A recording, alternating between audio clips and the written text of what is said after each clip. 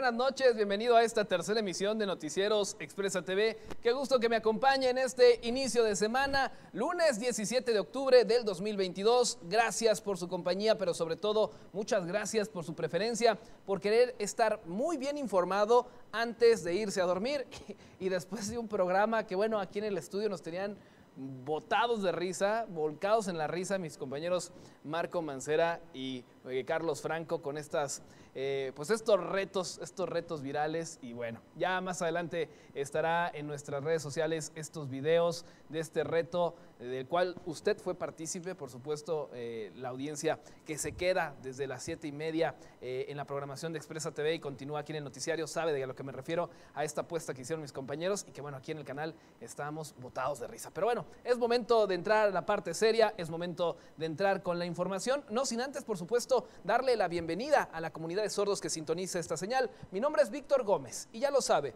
la información no descansa y nosotros tampoco. Este es el resumen informativo.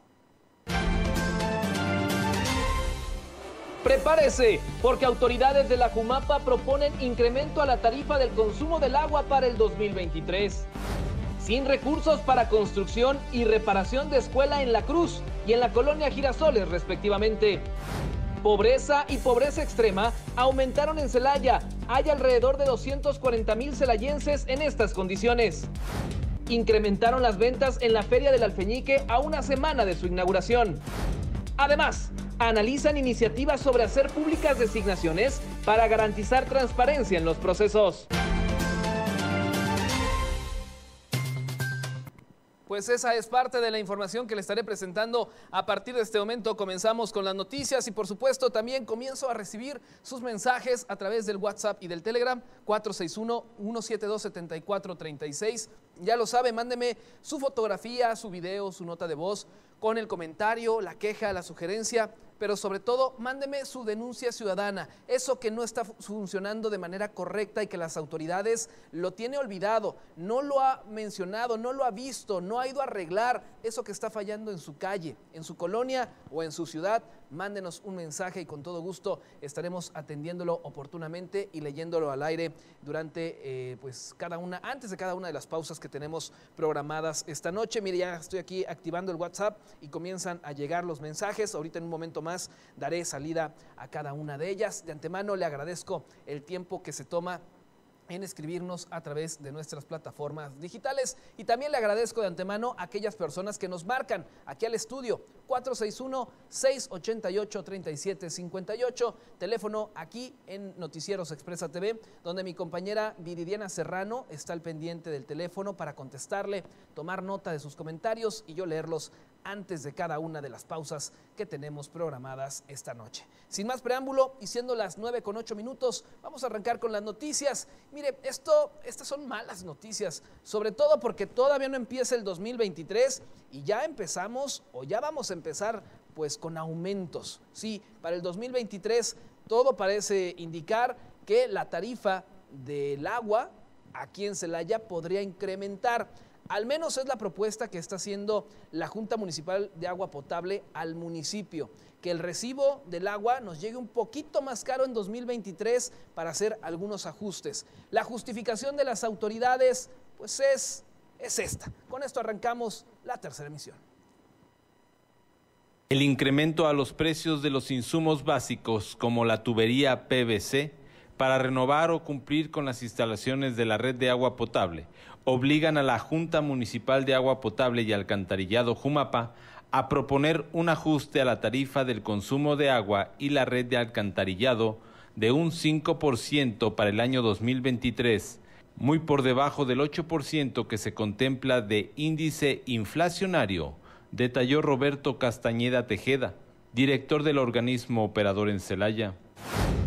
Seguimos con el, mismo esquema tarifario donde efectivamente menor consumo es menos el costo, ¿no? Mayor consumo va subiendo el costo, el costo del metro cúbico que se utiliza. Es el, mismo modelo, ahí no cambiamos nada. Es, un incremento lineal a la, cuota integrada, donde viene agua potable, alcantarillado y saneamiento. No, mira, se, va a incrementar, pero realmente se va a incrementar en proporción a la inflación. En realidad no estamos teniendo una, un ingreso marginal importante que sí lo hemos platicado con el ayuntamiento de esta necesidad. Necesitamos ir generando un fondo contingente para eh, proyectos que se van a necesitar. La realidad es que el incremento que estamos proponiendo es un incremento que prácticamente nos, nos, está ayudando para este, sacar la inflación. Incluso pues tenemos que ponernos cada vez más creativos a razón de gastar menos, de cuidar nuestros costos este, para poder mantener eh, financieramente viable a la Jumapa y poder dar un buen servicio a la gente de Celaya.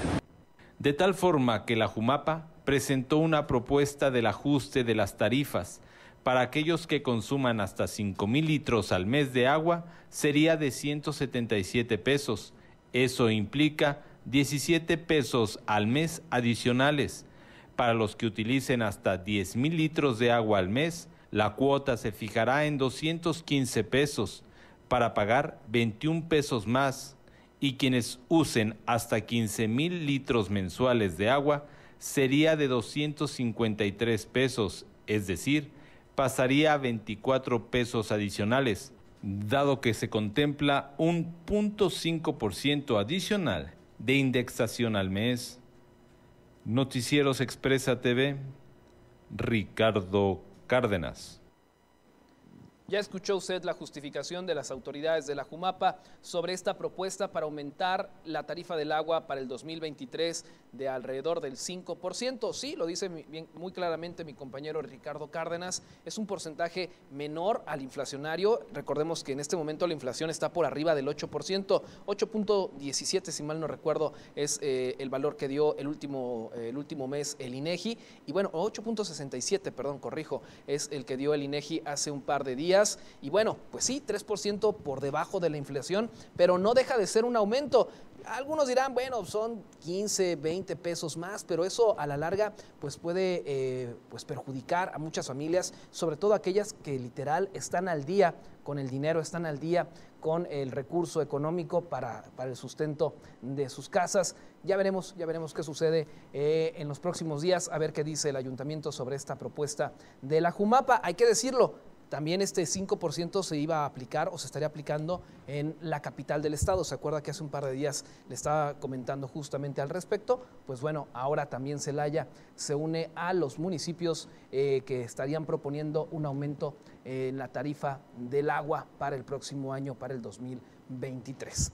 Ya que estamos hablando de recursos, vámonos hasta la comunidad de La Cruz. ¿Se acuerda que en octubre del 2021 cayó un tormentón allá, eh, bueno, en general en Celaya, pero específicamente en la comunidad de La Cruz se presentaron inundaciones bastante fuertes y que posteriormente dejaron al descubierto pues una grieta de gran tamaño que partió por la mitad literal algunas casas de la localidad e incluso una escuela primaria, la escuela primaria de la Cruz se vio afectada y que las autoridades después de varios meses de análisis determinaron que ese terreno ya no era viable para continuar, para pues reforzar o en este caso reconstruir la escuela y que tenían que conseguir un nuevo lugar. Bueno, al respecto de este tema, también le informamos que las autoridades ya contaban o ya cuentan con un terreno donado para la construcción de la escuela. El detalle es que no hay recursos para la construcción de esta escuela primaria. Sí, Mientras tanto, los alumnos allá en la Cruz están tomando clases improvisadas en, en algunas unidades móviles que tiene la Secretaría de Educación en el Estado para que estén tomando clases. Y la construcción de su nueva escuela tendrá que esperar para el 2023, amén de que las autoridades del Estado pues puedan designar un recurso para su construcción. Así lo dio a conocer el secretario, perdón, el delegado de Educación eh, Quinta Este, el maestro eh, Manuel Subías Miranda, sobre esta pues problemática, esta situación por la que están atravesando cientos de niños allá en la comunidad de La Cruz. El terreno para la nueva escuela primaria en la comunidad de La Cruz ya fue donado hace tiempo y ahora solamente se cumple con el procedimiento administrativo pero el recurso podría liberarse hasta el próximo ejercicio fiscal por el gobierno del Estado, reconoció Manuel Subías Miranda, delegado de Educación de Zona Este con sede en Celaya. Parece que esa parte del terreno está salvada, ¿no? Ya tenemos el terreno. También ya tenemos un acuerdo con el municipio para la prestación, para la parte de los servicios complementarios luz, agua y drenaje y, una, y la parte del acceso del camino. Normalmente los municipios lo que nos apoyan es con toda la obra complementaria, en su caso la donación del terreno, pero este, este año ya no, el terreno ya lo tenemos. Entonces lo que sigue va a ser una, eh, la asignación del recurso por parte del gobierno del Estado, la Secretaría de Educación. Quizás nos pueda dar de alguna economía o algo, pero yo lo más probable que veo es para el siguiente ejercicio fiscal, que pudiéramos tener el recurso.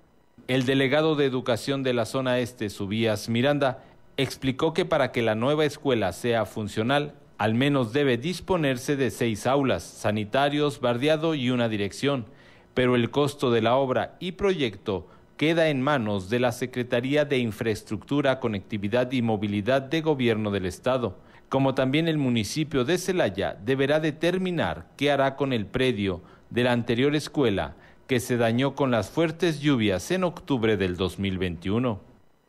Noticieros Expresa TV, Ricardo Cárdenas.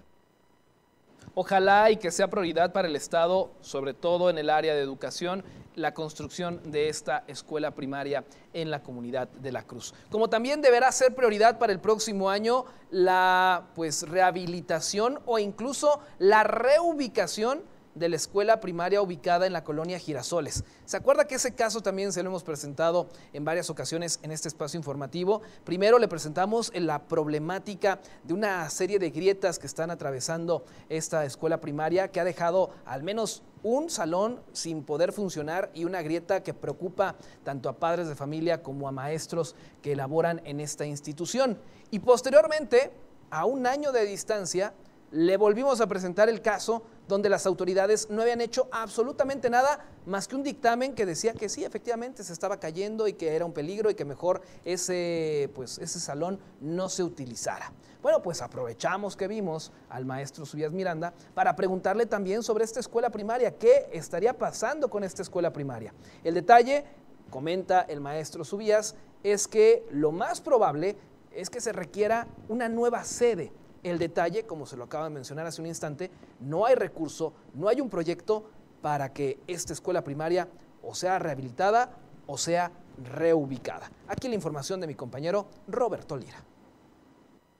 La escuela primaria Juan Escutia de la colonia Girasoles cumplió con su tiempo de vida útil. Sin embargo, se continuará habilitando espacios en el plantel hasta poder reubicar a sus estudiantes. El delegado regional de educación, José Manuel Subías Miranda, comentó que el terreno donde está ubicada la escuela sufre movimiento en la tierra y esto ha provocado fracturas en cimientos y paredes de seis aulas, mismas que ya no son utilizadas.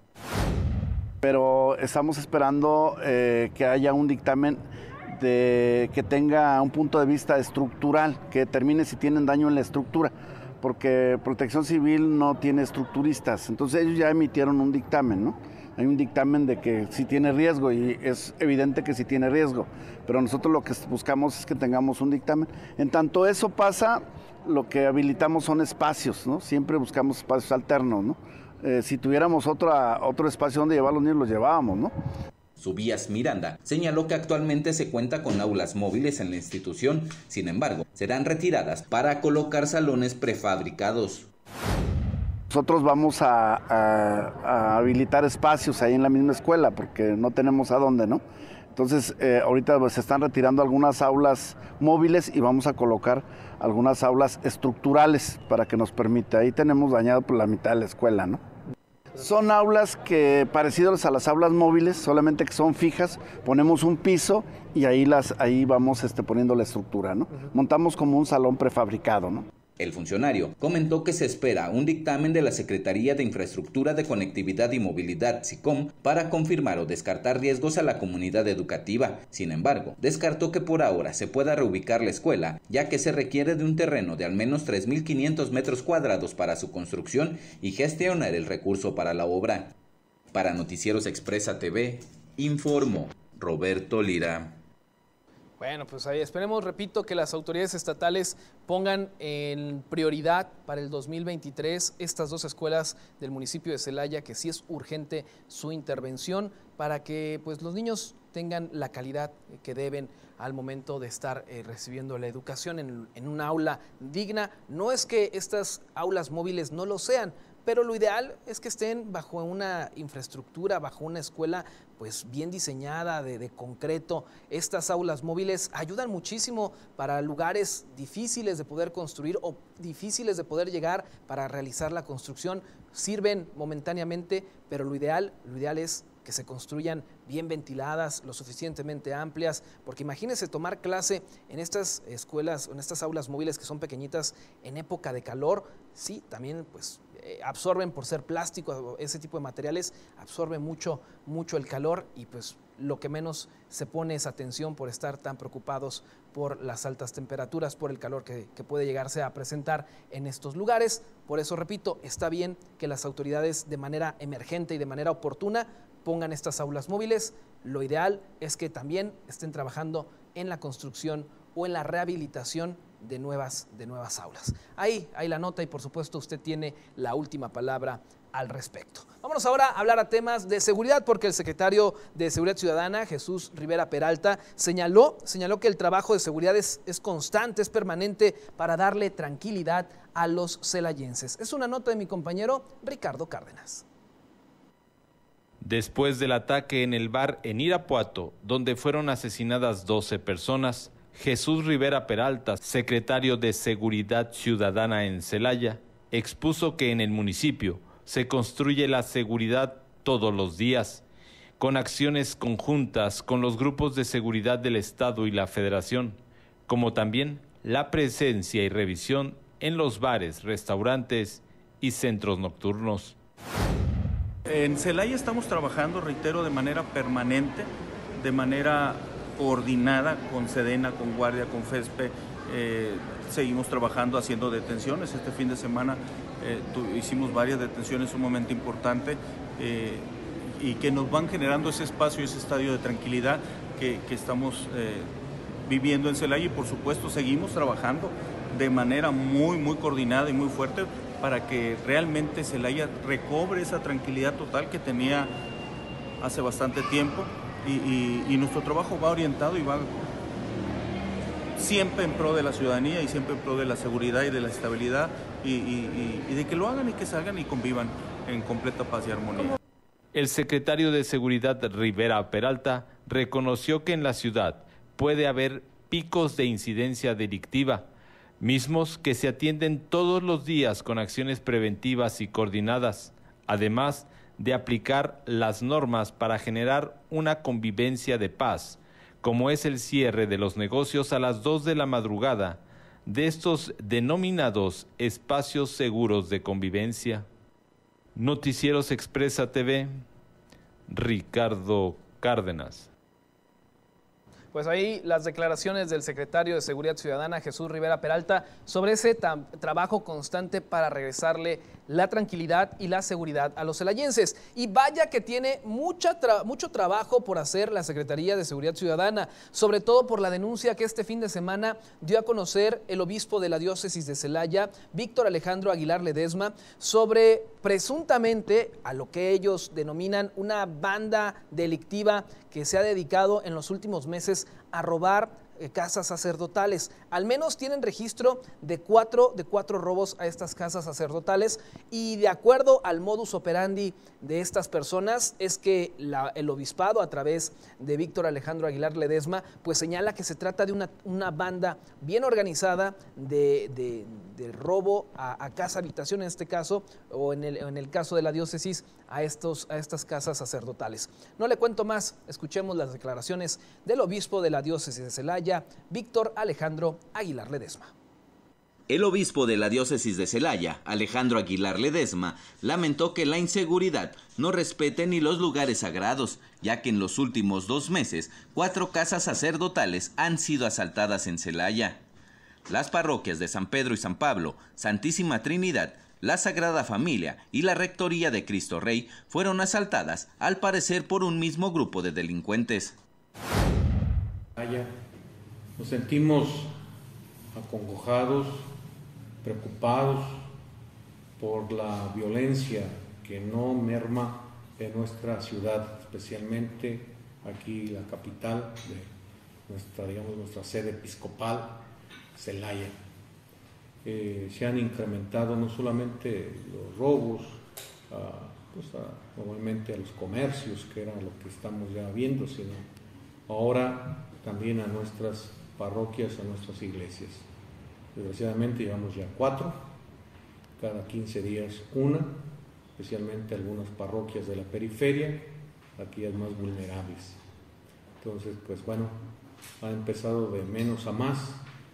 Lo primero fue solamente robo, las primeras, y esta última pues sí ya fue con violencia. Aguilar Ledesma comentó que los asaltos fueron denunciados en el Ministerio Público y buscará un acercamiento con autoridades municipales, así como una reunión con los sacerdotes de la zona para establecer mecanismos de precaución ante estos delitos. El público, y bueno, pues esperamos que las autoridades pues, resuelvan pronto esta situación y también pues vamos a invitar a los padres de aquí de la ciudad de Celaya para que busquemos formas y tomemos providencias extraordinarias ante este momento que estamos viviendo.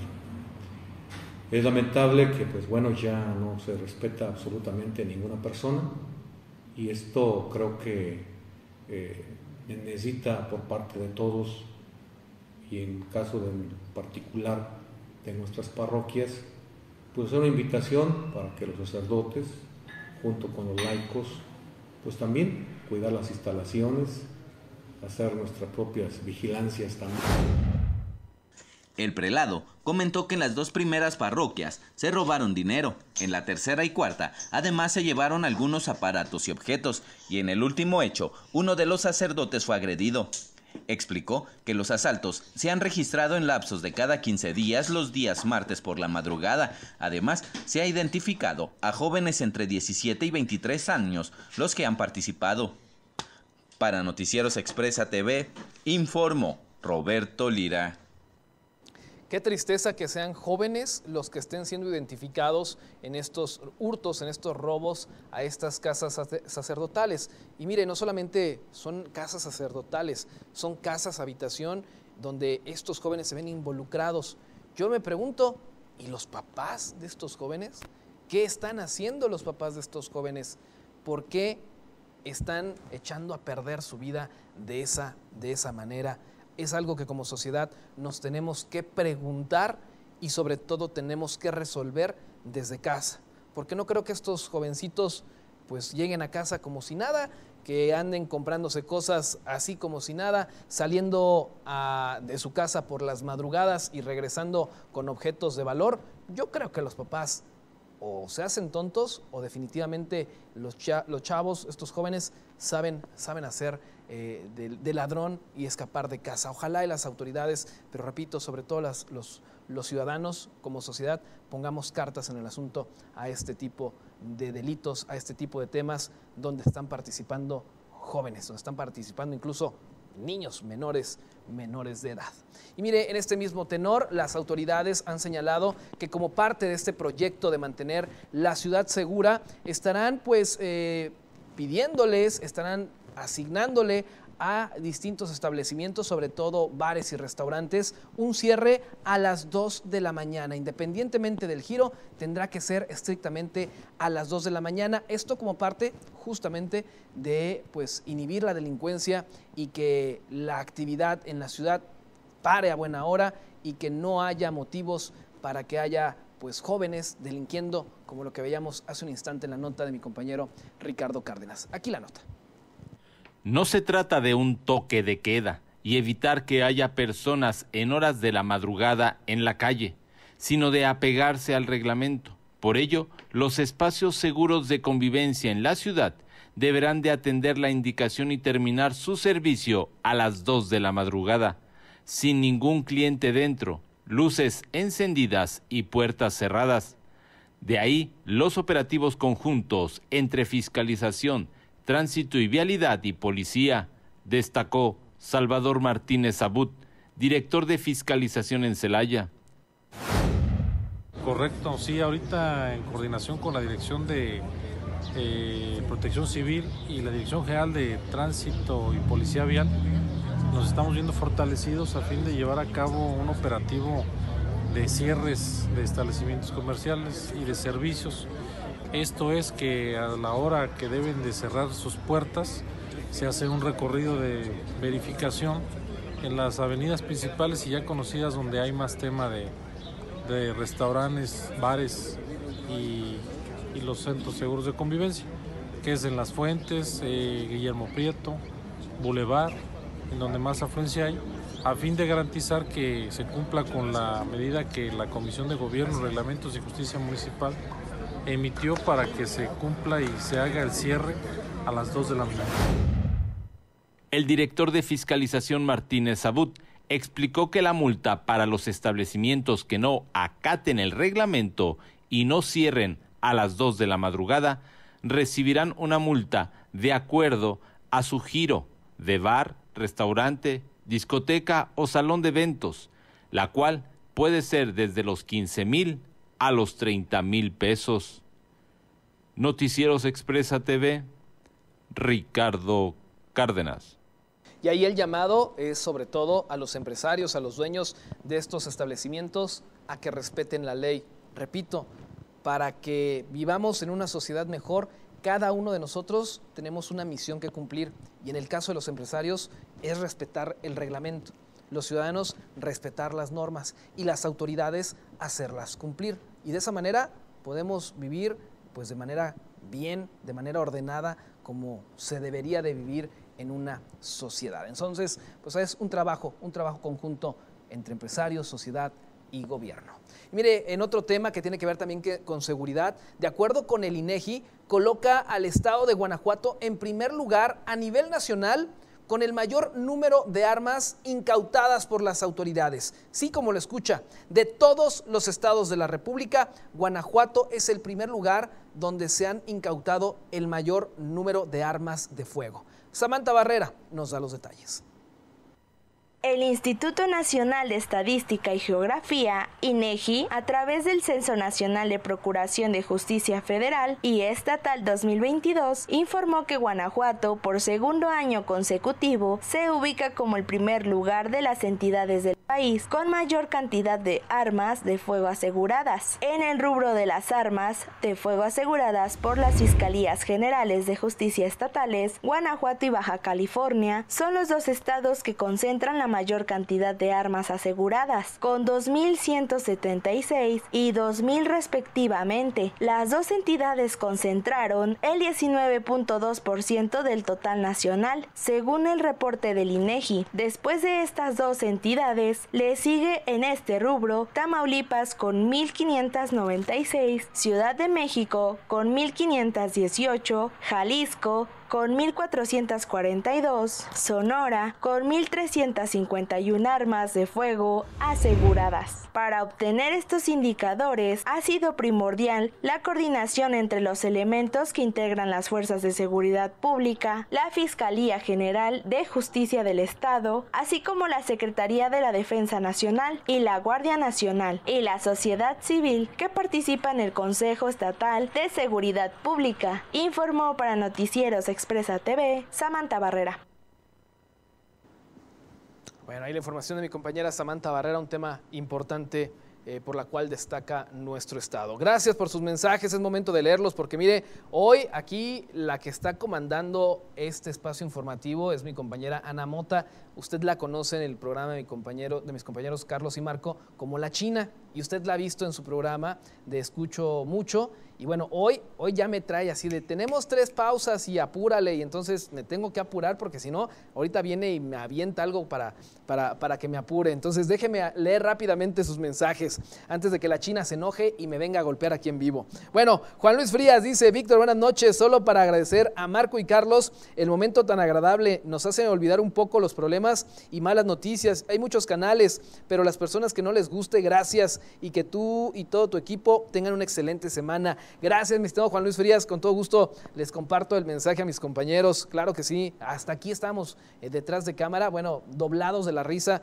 de las ocurrencias y del reto que se aventaron el día de hoy. En fin, eh, por acá dice un saludo para Paulina y Ángeles, porfa. Claro que sí, ahí está el saludo, no me dice de parte de quién, pero ahí está el saludo para Paulina y para Ángeles. Eh, por acá me comparten un video Ahorita lo reviso durante la pausa en lo que carga. Dice, buenas noches, señor Víctor. ¿Cómo vamos a hablar de que las personas adultas corrijamos a las menores si nos robamos simples plantitas? Ayer una persona como a, las, como a la una y media de la tarde estaba cargándose las plantitas de las jardineras de la Glorieta Fundadores Anexo Video. Me manda aquí el video, ahorita lo vemos durante la pausa y de ser necesario, hasta lo pasamos ahorita aquí al aire. Gracias, gracias. Pero pues sí, con el ejemplo, con el ejemplo se educa, pero vemos algunos, eh, algunas personas que ya vemos que no lo hacen. Eh, por acá, eh, Mario me dice, buenas noches, eso dijeron en Irapuato y no sirvió de nada. Enrique Flores, excelente inicio de semana, buenas noches Víctor, saludos, saludos. La violencia crece cada día más y no conformes con asaltar y robar todo lo que encuentran a su paso, se lo llevan, todavía golpean y ya no, hacer, ya no hacen nada las autoridades, solo promesas de mejorar, pero no pasa nada, qué miedo es vivir así y cada vez empeora más, me dice por acá mi estimado Enrique Flores. Gracias, don Enrique, por el comentario. Eh, por acá dice, buenas noches, es una burla para los ayayenses el veredicto para este caso. Los panistas nuevamente protegen a los delincuentes, como este castigo incrementará la delincuencia, me dicen eh, este otro mensaje. Laura Almanza dice, buenas noches, Víctor, el viernes habló de la esterilización para los perritos. Si fuera tan amable de proporcionarme las fechas, por favor, de antemano, gracias. Bonito inicio de semana. Con todo gusto, Laura. Ahorita durante la pausa te comparto la información. Eh, José Mauricio Basurto dice, buenas noches, licenciado Víctor, saludos y bendiciones. Lo del agua, no esperaron al 2023, me llegó el agua con un 50% de más, aún con cuota de INAPAM, me dice por acá mi estimado eh, José Mauricio Basurto. Caray, qué mala, qué mala información. Eh, por acá otro más dice buenas noches Víctor, solo para comentarte aquí en la colonia Romeral, según el lunes pasado tendríamos otra línea de transporte, al parecer no, si, nos siguen dando a tole con el dedo, el transporte sigue igual, pésimo, cuando, cuando nos harán caso, unidades supermugrosas, choferes prepotentes, gracias, bueno, gracias por el reporte, lo verificamos con las autoridades. Eh, por acá me mandan otra imagen. Dice, buenas noches, Víctor. Este animal anda en una casa vieja, deshabitada, en Hermanos Aldama y es, es una lagartija, es una lagartija lo que me manda aquí una, una imagen, es una lagartija de gran tamaño, así que no se preocupe, no hace absolutamente nada. Eh, por acá otro más, eh, dice Reina Alfaro, gracias, gracias Reina Alfaro, te mando un fuerte abrazo, gracias a ti y a toda tu familia, que no se pierdan esta tercera emisión. Eh, por acá me mandan un servicio social, dice, no tenemos, ah no, perdón, no tenemos luz alumbrado público en la calle Insurgentes desde el jueves ya se reportó y no hacen nada, es en el tramo de Aztecas hasta 20 de noviembre. Ok, con todo gusto lo canalizamos a las autoridades correspondientes. Otro mensaje más, eh, me mandan aquí más videos. Ah, ok, más videos de la persona que está robando las plantas. Ahorita lo verificamos. Muchas gracias. Eh, ¿Puede enviar saludos a la familia Hernández Hernández, por favor? Claro que sí. Ahí está el saludo. Marta me dice eh, mi nota, por favor, Víctor. Ahorita lo reviso. ¿Cuál nota me, te refieres, mi estimada Marta? Ahorita con todo gusto lo checo con la producción para que me la mande. Eh, dice otro mensaje más, saludos desde La Caleza. Gracias Lupita Mendoza, abrazos también y saludos hasta La Caleza. Son las 9 de la noche con 38 minutos y tengo tres pausas, me va a colgar la China. Vámonos a pausa, vuelvo con más.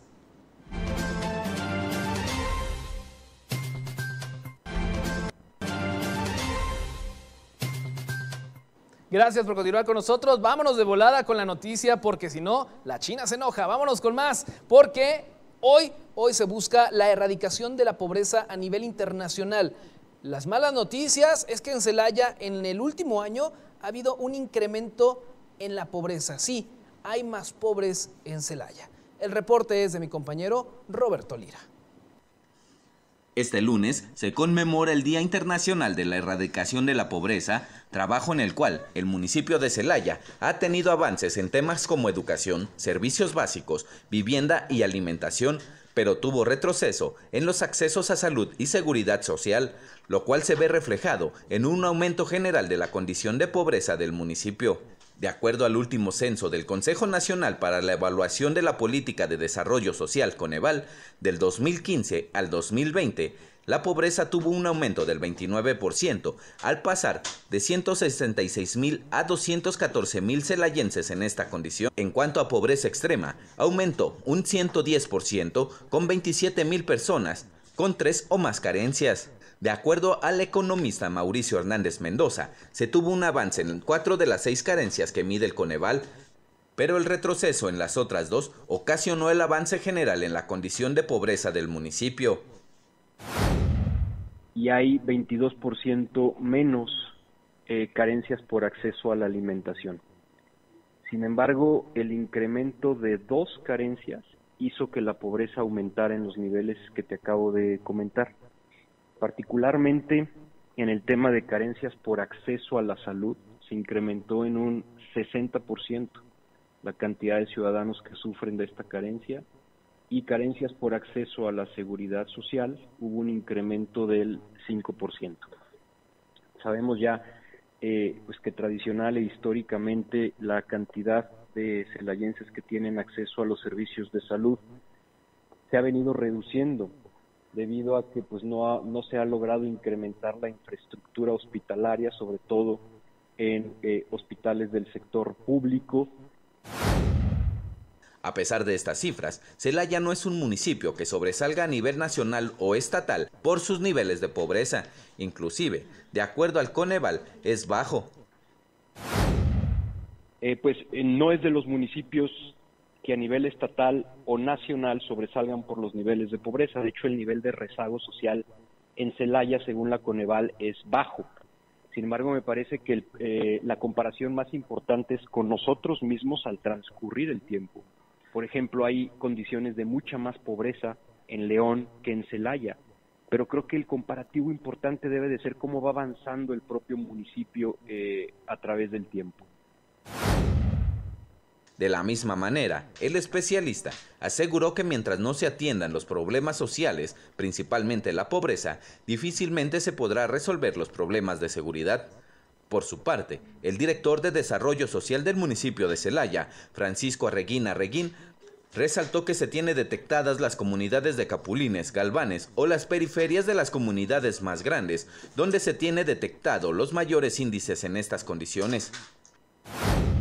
Estamos hablando de alrededor aproximadamente de un 40% de la población que de alguno de los índices, de los indicadores de la pobreza lo reconocen. En las comunidades como Capulines, Galvanes, en otras comunidades también tenemos temas de pobreza, San Juan de la Vega, las periferias de las comunidades grandes, tenemos ese, tema de pobreza que estamos incentivando y estamos metiéndole nosotros el apoyo.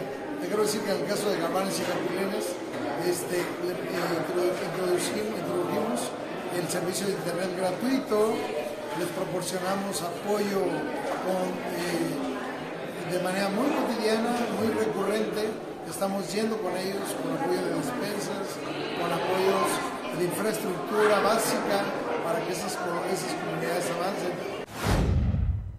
Asimismo, resaltó que estas mediciones se vieron afectadas con la eliminación del seguro popular, aumentando los indicadores de pobreza y la cantidad de personas en esta condición. Para Noticieros Expresa TV, informó Roberto Lira. Bien decía la persona que está en Palacio Nacional, primero los pobres, aunque a lo mejor le entendimos mal, era primero más pobres. Y bueno, todo parece ser que así va las cosas en nuestro país y en nuestro municipio.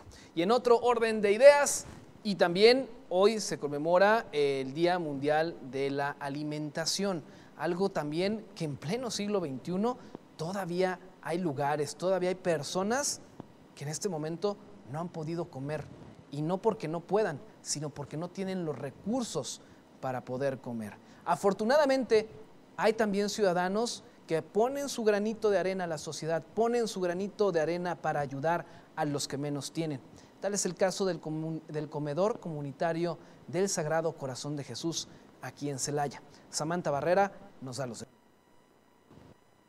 Hace dos años que la parroquia del barrio de San Miguel organizó un comedor comunitario con ayuda de varias parroquias, el DIF, tortillerías y personas que se suman a esta noble causa, organizada por el párroco Rafael Picón. En este Día Mundial de la Alimentación, comprometámonos a lograr un mundo sin hambre, un mundo en el que todas las personas tengan acceso a una alimentación sana y nutritiva. Incluso pues ya vamos dos años y ahorita vamos a cumplir ya los tres apoyando a los hermanitos que tenemos aquí y pues le damos gracias al señor cura Alfredo Picot, que él es el que nos organiza para hacer esta labor con mis compañeras que estamos aquí. Es martes y sábado nuestra labor que venimos a realizar y entregamos pues de 100, 200 platillos este, y les damos muchas gracias a las personas que nos apoyan. son las personas de las tortillerías que gracias a Dios tenemos todo el tiempo que no nos han dejado de traer las tortillas tostadas. Este, hay muchas personas que nos apoyan igual con bultos de arroz, bultos de frijol y ahora sí por parte de DIP Celaya nos ha estado apoyando también en esta administración. Nos trae el brócoli, nos trae pollo y pues nos trae variedad de productos también. Y es así como María Flores y Emi Escamilla, coordinadoras del Comedor Sagrado Corazón de Jesús, nos platican cómo ha sido esta labor humanitaria. Yo digo que es muy bonito porque repartimos comida a las personas que más lo necesitan y pues también muchas pobres personitas vienen a que les demos comida y pues estamos, bueno, yo estoy muy feliz, ¿verdad? Desde que empecé me siento tranquila, feliz, repartiendo la comida a nuestros hermanitos, a los que más se ven necesitados. Pues ahora sí, si alguien quiere sumarse, aquí las esperamos. Necesitamos mucho apoyo en especie o en estar laborando aquí para que nos apoyen. Les damos las gracias de verdad y aquí estamos con todas mis compañeras. Con esto, podemos confirmar que Celaya es una ciudad que comparte, ayuda y brinda al más necesitado. Si usted quiere sumarse a esta noble causa, podrá acudir directamente al comedor del barrio de San Miguel martes y sábados de 1 a 2 de la tarde o bien a la notaría donando lo que esté a su alcance para así poder seguir llenando pancitas que más lo necesitan. Informó para Noticieros Expresa TV Samantha Barrera.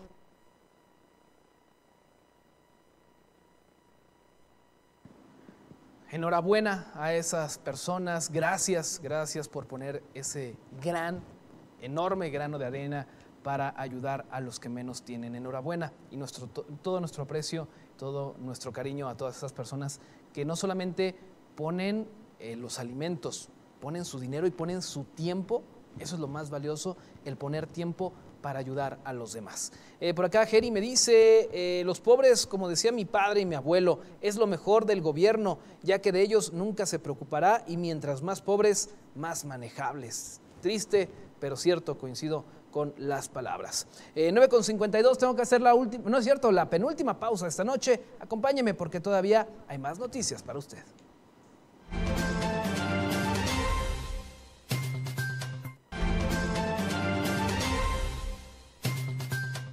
5 para las 10, hay más noticias para usted. Mire, hay un tema que ha estado en los últimos días, pues en la boca de todos los mexicanos. Me refiero al tema de la Guardia Nacional. Las eh, autoridades legislativas a nivel federal ya le dieron el visto bueno para poder modificar la ley y que las eh, en este caso la Guardia Nacional, pueda permanecer en las calles por lo menos hasta el 2028. Pero para que esto ya sea un hecho a nivel nacional, tiene que pasar por el visto bueno de cada uno de los estados de la República y tener por lo menos la aprobación de la mitad más uno de los estados. ¿Qué pasará en Guanajuato? Platicamos con los legisladores de varias fracciones y esto fue lo que nos dijeron. El decreto que permite a la Guardia Nacional participar en labores de seguridad pública aún no ha llegado al Congreso del Estado y los diputados esperan que el documento sea recibido por el Pleno del Poder Legislativo Estatal para poder conocerlo. La diputada Laura Cristina Márquez Alcalá, presidenta de la Comisión de Justicia, explicó que una vez que llegue la modificación constitucional, el Pleno deberá turnarla a la Comisión de Gobernación y Puntos Constitucionales y todavía no ha pasado por el Pleno. Recordó que una vez que concluya el proceso en el Congreso Federal para enviar el documento a las 32 entidades federativas, es cuando los congresos estatales deberán entrar a su estudio y análisis.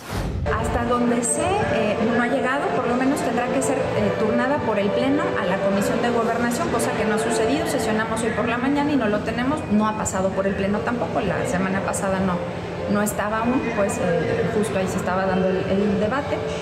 Eh, entonces, si de, estar concluido el proceso interno en el Congreso Federal para poder hacer la, la dispersión, digamos, a las 32 entidades federativas, tendríamos que esperar a que el Pleno le dé turno, lo pase a la Comisión de Justicia, perdón, de Gobernación, y ya en la Comisión de Gobernación radicar y hacer el análisis correspondiente. Por su parte, el diputado Milángel Salimalé señaló que hasta ahora el grupo parlamentario del PAN no ha definido el procedimiento a seguir, además que ya se dieron algunos amparos en contra de la determinación para que la Guardia Nacional se involucre en labores de seguridad pública. Bueno, tú sabes que son 32 estados, apenas van creo que cuatro o cinco estados los que lo han estado analizando. Eh, no urge, no hay prisa, de hecho ya hay algunos amparos contra esta modificación. Nosotros estamos a la expectativa, no hemos revisado en el grupo parlamentario todavía este tema, estamos en espera de que, de que llegue el documento y en espera de discutirlo dentro del grupo parlamentario. Para la diputada por Morena, Alma Alcaraz Hernández, hay que esperar que llegue el decreto y que cada grupo parlamentario defina al respecto, pero por ahora están a la espera. Los legisladores esperan que el decreto sea remitido por el Congreso Federal y de esa manera comenzar su discusión al interior de las comisiones y luego cada grupo y representación parlamentaria definir el sentido de su voto. Desde la ciudad de Guanajuato, para Noticieros Expresa TV, informó Osvaldo García Ledesma. Pues ya veremos qué sucede cuando llegue ese documento al Congreso del Estado, si se votará a favor o en contra. Guanajuato está a favor o en contra de la Guardia Nacional eh, o que, haga tareas eh, pues, de labores que hace la policía. Ya veremos qué sucede cuando llegue ese documento y qué es lo que eh, pues tiene de resolución los legisladores locales. Ya que estamos hablando del Congreso local, ponga mucha atención porque están analizando una iniciativa sobre hacer públicas las designaciones para garantizar la transparencia de los procesos. Algo muy importante para que no haya opacidad y que se sepa a quién se le designan determinadas obras, determinados proyectos desde el gobierno estatal. Información de mi compañero Osvaldo García.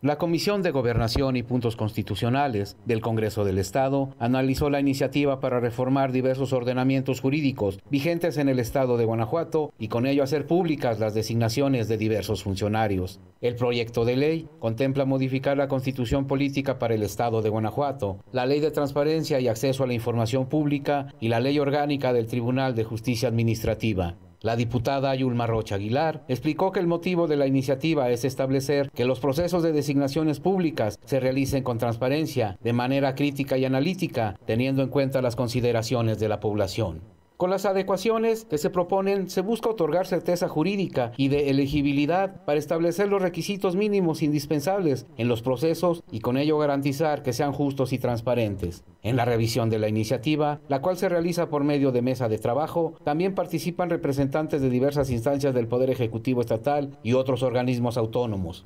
Todos ellos han coincidido hasta ahora en que se debe de tener en cuenta y respetar la autonomía de las diversas instituciones, además de atender lo que al respecto plantea la constitución local y las leyes secundarias. Desde la ciudad de Guanajuato, para Noticieros Expresa TV, informó Osvaldo García Ledesma. Momento de hacer la última pausa de esta noche. Acompáñeme, todavía tengo más noticias para usted.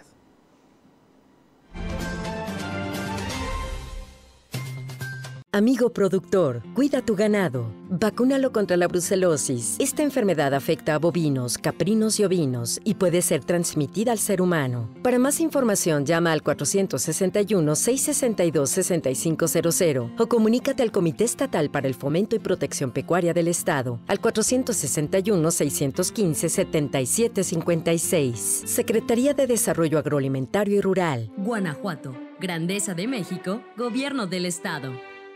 El momento de Celaya es hoy. En el DIF, trabajamos para que las familias más vulnerables tengan oportunidades para salir adelante.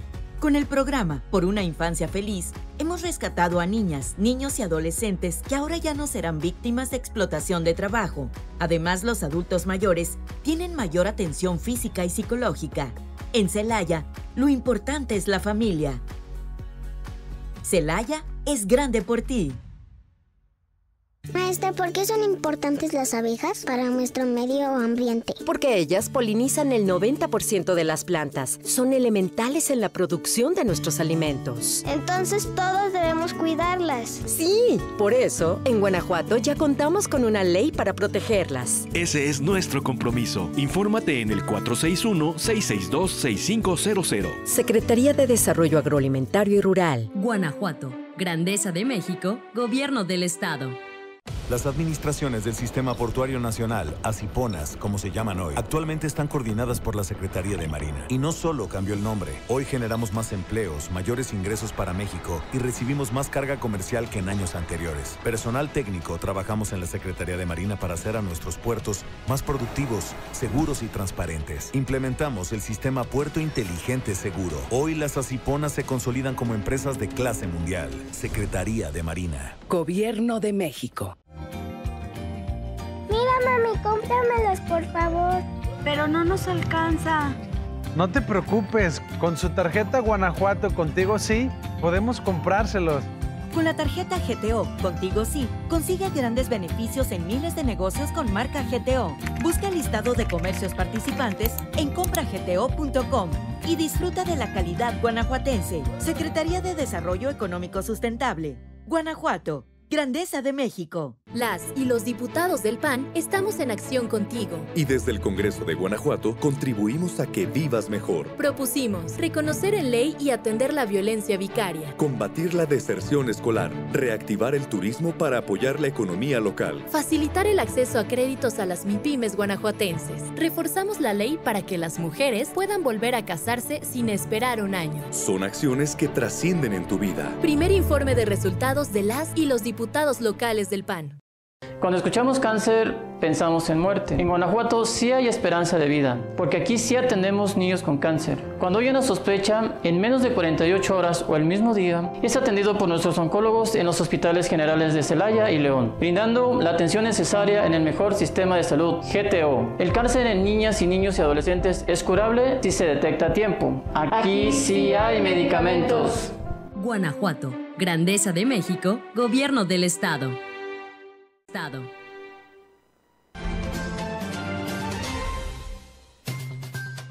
Ya son las 10 de la noche con 4 minutos tiempo del centro de México. Yo sé que ya se quiere ir a descansar igual que mi compañera Ana Mota, alias La China. Antes de que eso suceda, quédese bien informado porque este fin de semana, afortunadamente los celayenses fueron a la Feria del Alfeñique, están apoyando al comercio local. No lo digo yo, lo dicen los propios comerciantes, los propios locatarios de esta Feria del Alfeñique 2022.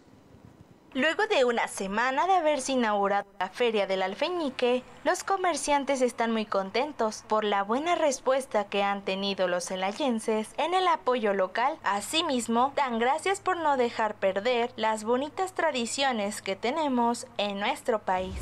Pues la verdad la respuesta ha sido buena, esperábamos un poquito más, menos de gente este, el primer fin de semana, pero la verdad sí, sí hubo bastante gente y la verdad la respuesta ha sido favorable.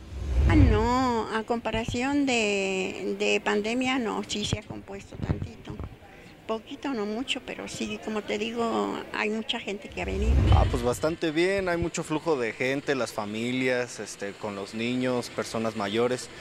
Está, sí ha habido así como que un flujo de, de gente. Pues mira, sí ha venido mucha gente, mucha gente a ver y todo, pero ya empezaron, me imagino que ya les empezaron a pedir en las escuelas, que es ahorita como ya están este, comprando el papel picado, lo que lleva todo lo que es el altar de muertos. Asimismo, esperan que conforme pasen los días, las ventas sigan incrementando para así mejorar la economía de los celayenses. Verdad esperamos un, pues sí, un poquito más de gente para estos dos fines de semana que son pues ya los que se aproximan a, se puede decir para la venta, sí es, es mucho más la, se puede decir la gente. No, realmente no tengo la idea, pero sí es muchísima gente la que, la que ha venido. Esperamos este, que mm, conforme se acerquen más los días, este, más gente va a venir, porque ahorita apenas les están pidiendo en las escuelas, más este, faltan la, que adornen sus casas, que adornen sus negocios. Eso es lo que esperamos, que sí va a haber más venta. Por supuesto que sí, porque pues es un beneficio para todos los comerciantes aquí presentes. Sí, a todos nos conviene que haya más venta. Finalmente, los comerciantes siguen invitando a los ciudadanos a visitar la Feria del Alfeñique, el cual ofrece papel picado, alfeñiques, dulces típicos de Celaya, comida, disfraces, maquillaje, entre muchas cosas más, y que puedan disfrutar en familia de estas